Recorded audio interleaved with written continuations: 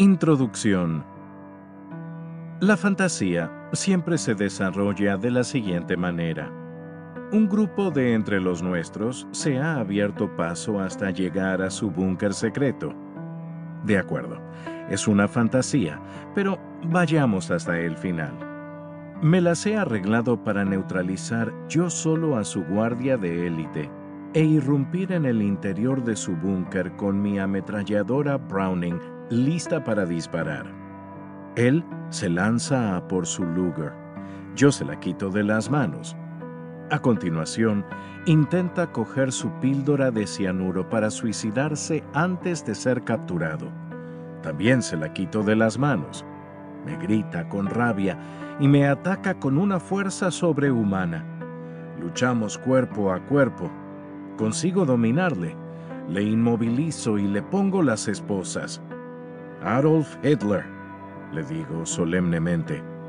Le arresto por cometer crímenes contra la humanidad.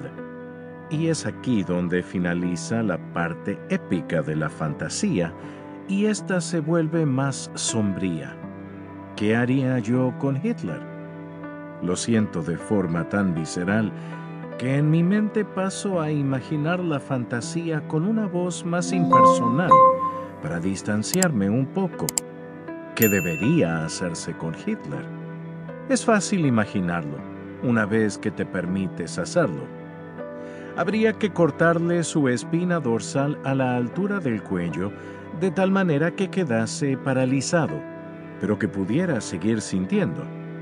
Extraerle los ojos con un instrumento romo. Perforarle los tímpanos y arrancarle la lengua. Mantenerle vivo alimentado por una sonda y con un respirador. Inmóvil, incapaz de hablar, de ver y de oír, únicamente pudiendo sentir. A continuación, se le inyectaría algo que le produjera un cáncer que infectase y formase pústulas en cada rincón de su cuerpo, y que creciera y creciera hasta que todas y cada una de sus células sufrieran agónicamente de tal forma que cada momento se sintiera como si estuviese ardiendo en el fuego infernal. Eso es lo que se le debería hacer a Hitler. Eso es lo que me gustaría que le hubieran hecho a Hitler. Eso es lo que yo le haría a Hitler. He tenido versiones diferentes de esta fantasía desde que era un niño y aún sigo teniéndolas.